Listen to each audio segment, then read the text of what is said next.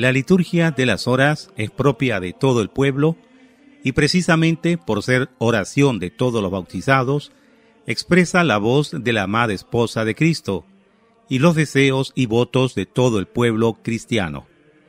En Hora con el Corazón Radio en comunión con Cristo, los invitamos a participar de la liturgia de las horas. Miércoles 7 de marzo de 2018 Tercera semana de Cuaresma. Oficio de lectura. Señor, abre mis labios. Y mi boca proclamará tu alabanza. A Cristo el Señor, que por nosotros fue tentado y por nosotros murió, venid, adorémosle. Antífona del Salmo 94. Venid, aclamemos al Señor, demos vítores a la roca que nos salva Entremos a su presencia dándole gracias, aclamándolo con cantos. A, Cristo el Señor, que por nosotros fue tentado y por nosotros murió, venid, adorémosle. Porque el Señor es un Dios grande, soberano de todos los dioses. Tiene en su mano las cimas de la tierra son suyas las cumbres de los montes, suyo es el mar, porque Él lo hizo, la tierra firme que modelaron sus manos. A, Cristo el Señor, que por nosotros fue tentado y por nosotros murió, venid, adorémosle.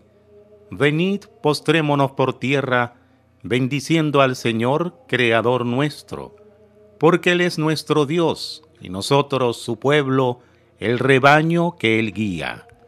A Cristo el Señor, que, por nosotros fue tentado y por nosotros murió, venid, adorémosle. Ojalá escuchéis hoy su voz, no endurezcáis el corazón como en Meribá, como el día de Masá en el desierto, cuando vuestros padres me pusieron a prueba y dudaron de mí, aunque habían visto mis obras.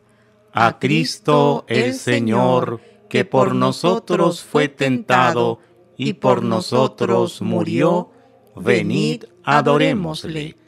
Durante cuarenta años aquella generación me repugnó y dije, es un pueblo de corazón extraviado que no reconoce mi camino. Por eso he jurado en mi cólera que no entrarán en mi descanso. A Cristo el Señor, que por nosotros fue tentado y por nosotros murió, venid, adorémosle. Gloria al Padre, y al Hijo, y al Espíritu Santo. Como era en el principio, ahora y siempre, por los siglos de los siglos. Amén. A Cristo el Señor, que por nosotros fue tentado y por nosotros murió, venid, adorémosle. Himno. Levántame, Señor, que estoy caído, sin amor, sin temor, sin fe, sin miedo. Quiero me levantar y estoy me quedo. Yo propio lo deseo y yo lo impido. Estoy siendo uno solo dividido a un tiempo muerto y vivo, triste y ledo. Lo que puedo hacer, eso no puedo. Huyo del mal y estoy en él metido. Tan obstinado estoy en mi porfía, que el temor de perderme y de perderte jamás de mi mal uso me desvía. Tu poder y bondad truequen mi suerte, que en otros veo enmienda cada día y en mí nuevos deseos de ofenderte. Amén. La misericordia y la fidelidad te preceden, Señor. Antífona del Salmo 88, primera estrofa. Himno al Dios fiel a las promesas hechas a David. Cantaré eternamente las misericordias del Señor anunciaré tu fidelidad por todas las edades, pues dijiste, cimentado está por siempre mi amor, asentada más que el cielo mi lealtad. Sellé una alianza con mi elegido, jurando a David mi siervo, te fundaré un linaje perpetuo, edificaré tu trono para todas las edades. El cielo proclama tus maravillas, Señor, y tu fidelidad en la asamblea de los ángeles. ¿Quién sobre las nubes se compara a Dios? ¿Quién como el Señor entre los seres divinos? Dios es temible en el consejo de los ángeles. Es grande y terrible para toda su corte. Señor de los ejércitos, ¿quién como tú? El poder y la fidelidad te rodean. Tú domeñas la soberbia del mar y amansas la hinchazón del oleaje. Tú traspasaste y destrozaste a Rahab tu brazo potente desbarató al enemigo. Tuyo es el cielo, tuya la tierra. Tú cimentaste el orbe y cuanto contiene. Tú has creado el norte y el sur. El Tabor y el Hermón aclaman tu nombre. Tienes un brazo poderoso, fuerte es tu izquierda y alta tu derecha. Justicia y derecho sostienen tu trono misericordia y fidelidad te preceden. Dichoso el pueblo que sabe aclamarte. Caminará, oh Señor, a la luz de tu rostro. Tu nombre es su gozo cada día, tu justicia es su orgullo. Porque tú eres su honor y su fuerza, y con tu favor realzas nuestro poder. Porque el Señor es nuestro escudo, y el Santo de Israel nuestro Rey. Gloria al Padre y al Hijo y al Espíritu Santo. Como era en el principio, ahora y siempre, por los siglos de los siglos. Amén. La, misericordia y la fidelidad te preceden, Señor. El Hijo de Dios nació según la carne de la estirpe de David. Antífona del Salmo 88 Segunda estrofa. Un día hablaste en visión a tus amigos. He ceñido la corona a un héroe. He levantado a un soldado sobre el pueblo. Encontré a David mi siervo y lo he ungido con óleo sagrado, para que mi mano esté siempre con él y mi brazo lo haga valeroso. No lo engañará el enemigo, ni los malvados lo humillarán ante él desharé a sus adversarios y heriré a los que lo odian. Mi fidelidad y misericordia lo acompañarán. Por mi nombre crecerá su poder. Extenderé su izquierda hasta el mar y su derecha hasta el gran río. Él me invocará, tú eres mi Padre, mi Dios, mi roca salvadora, y yo lo nombraré mi primogénito excelso entre los reyes de la tierra. Le mantendré eternamente mi favor, y mi alianza con él será estable. Le daré una posteridad perpetua y un trono duradero como el cielo. Gloria al Padre, y al Hijo, y al Espíritu Santo. Como era en el principio, ahora y siempre, por los siglos de los siglos. Amén el Hijo de Dios nació según la carne de la estirpe de David. Juré una vez a David mi siervo, tu linaje será perpetuo. Antífona del Salmo 88, tercera estrofa. Si sus hijos abandonan mi ley y no siguen mis mandamientos, si profanan mis preceptos, y no guardan mis mandatos. Castigaré con la vara sus pecados y a latigazos sus culpas. Pero no les retiraré mi favor, ni desmentiré mi fidelidad. No violaré mi alianza, ni cambiaré mis promesas. Una vez juré por mi santidad no faltar a mi palabra con David. Su linaje será perpetuo y su trono como el sol en mi presencia, como la luna que siempre permanece. Su solio será más firme que el cielo. Gloria al Padre, y al Hijo, y al Espíritu Santo. Como era en el principio, ahora y siempre, por los siglos de los siglos. Amén. Juré una vez a David mi siervo, tu linaje será perpetuo. Convertíos y haced penitencia. Haceos un corazón nuevo y un espíritu nuevo. Primera lectura del libro del Éxodo capítulo 33. Especial manifestación de Dios a Moisés. En aquellos días, Moisés levantó la tienda de Dios y la plantó fuera, a distancia del campamento. La llamó tienda de reunión. El que tenía que visitar al Señor salía fuera del campamento y se dirigía a la tienda de reunión. Cuando Moisés salía en dirección a la tienda, todo el pueblo se levantaba y esperaba a la entrada de sus tiendas, mirando a Moisés hasta que éste entraba en la tienda. En cuanto él entraba, la columna de nube bajaba y se quedaba a la entrada de la tienda, mientras él hablaba con el Señor y el Señor hablaba con Moisés. Cuando el pueblo veía la columna de nube a la puerta de la tienda, se levantaba y se prosternaba cada uno a la entrada de su tienda. El Señor hablaba con Moisés cara a cara, como habla un hombre con un amigo.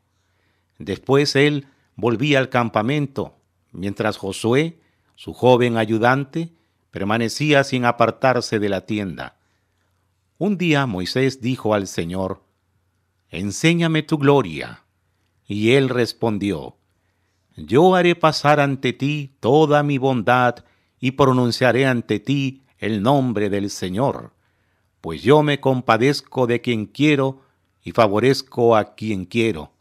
Pero mi rostro no lo puedes ver, porque nadie puede verlo y seguir viviendo. Y añadió, Ahí tienes un sitio donde puedes ponerte junto a la peña. Cuando pase mi gloria ante ti, te pondré en una hendidura de la peña, y te cubriré con mi mano hasta que haya pasado. Y cuando retire la mano, podrás ver mi espalda, pero mi rostro no lo verás. Y el Señor bajó en la nube y se quedó con él allí. Y Moisés pronunció el nombre del Señor. El Señor pasó ante él proclamando, Yahvé, Yahvé, Dios compasivo y misericordioso, lento a la ira y rico en amor y fidelidad, misericordioso hasta la milésima generación, que perdona culpa, delito y pecado, pero no deja impune y castiga la culpa de los padres en los hijos y nietos, hasta la tercera y cuarta generación. Moisés al momento se prosternó y se echó por tierra y le dijo, si he obtenido tu favor, dígnese mi Señor venir con nosotros, aunque sea ese un pueblo de dura cerviz. Perdona nuestras culpas y pecados, y tómanos como heredad tuya. Cuando Moisés volvió a bajar del monte Sinaí, con las dos tablas de la alianza en la mano, no sabía que tenía radiante la piel de su rostro, por haber hablado con el Señor. Pero Aarón y todos los israelitas vieron a Moisés con la piel de su rostro radiante, y no se atrevieron a acercarse a él. Cuando Moisés los llamó, se acercaron a Aarón y los jefes de la comunidad, y Moisés les habló. Después se acercaron todos los israelitas, y Moisés les comunicó las órdenes que el Señor le había dado en el monte Sinaí. Y cuando terminó de hablar con ellos, se echó un velo sobre el rostro. Cuando entraba a la presencia del Señor para hablar con él, se quitaba el velo hasta la salida. Cuando salía, comunicaba a los israelitas lo que el Señor le había mandado. Los israelitas veían la piel radiante de su rostro y Moisés se volvía a echar el velo sobre la cara hasta que volvía a hablar con Dios. Responsorio de la segunda carta del apóstol San Pablo a los Corintios, capítulo 3.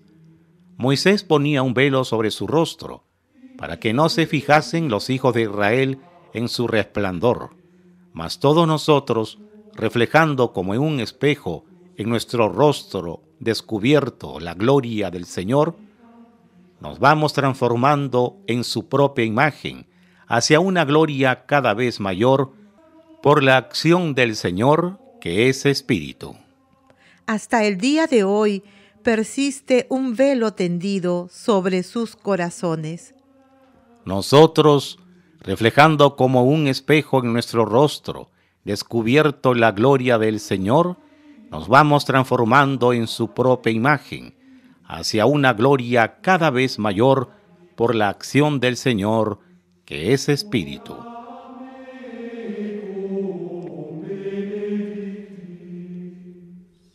Segunda lectura del libro de San Teófilo de Antioquía, obispo a Autólico.